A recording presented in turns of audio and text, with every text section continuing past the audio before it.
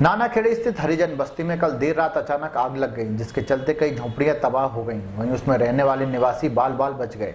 हालाँकि अभी तक आग लगने के कारणों का कोई स्पष्ट पता नहीं चल पाया है। हालाँकि वहाँ पे रहने वाले निवासियों की माने तो किसी ने पेट्रोल डालकर इन झोपड़ियों में आग लगाई है, जिसके चलते सभी झोपड़ियाँ जलकर खाक हो गई ऐसा पहली बार नहीं हुआ। इससे पहले भी इस जगह पर आग लगाई जा चुकी है। हालाँकि पुलिस तहकीकात में जुट गई है और आग लगाने के कारणों का पता लगाने की कोशिश कर रही है। वैसे उस जगह क्या बोलेंगे? नहीं मतलब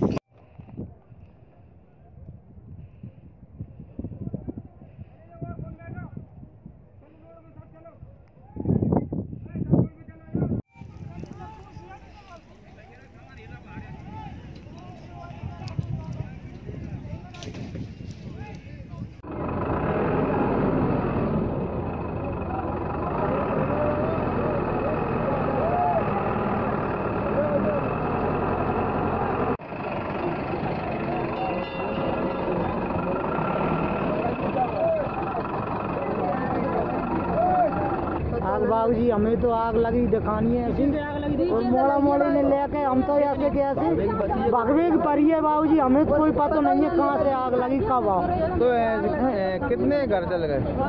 चार पाँच घर जल गए ये साहब पीछे। की ये कितनी बस्ती थी? आप आप लोग हेरवारन की। हेरवारन की थी साहब बस्ती रह रहे हैं हम यहाँ पे मैं तो साहब मलक दनन कर रहा हूँ एक बार वो लग चुकी है पाँच छह साल की। और पहले लगी थी। ये साल ही हुई है अभी।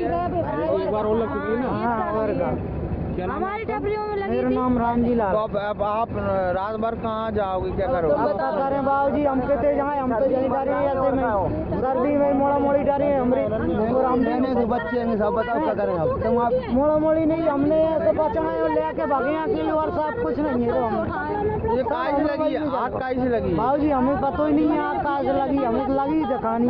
एकदम भर्ती है कुछ बच्चे बच्चे बच्चे हैं ना हमारे। नहीं भर्ती भी है क्या? नहीं नहीं हाँ भर्ती मरती नहीं बाबू जी हमने बच्चे नहीं लेके भागे ही हम।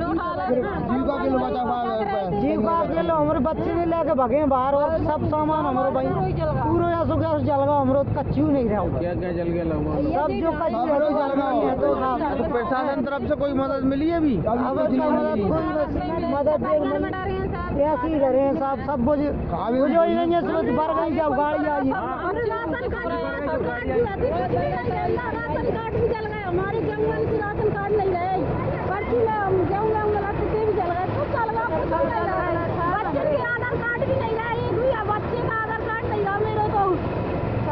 भर मिली थी कि यहाँ पे जो नया बाईपास बना हुआ है न्यू आरटी ऑफ़िस के पास में, जो कच्चे मकान थे आदिवासियों के उसमें आग लगी थी तत्काल वहाँ पे फायर ब्रिगेड भिजवा के आग बुझवा दी गई थी।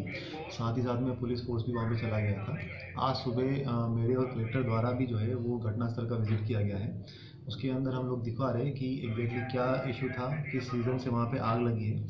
साथ ही साथ कलेक्टर के द्वारा उसमें निर्देश भी दिए गए हैं कि उनको जो है वो रेन मसेरा में रख के बाकी और भी जो सुविधाएँ हैं, वो सुविधाएँ भी दी जाएगी और बाकी पूरे मामले का इन्वेस्टिगेशन भी हम लोग करवा रहे हैं। सर, ये जो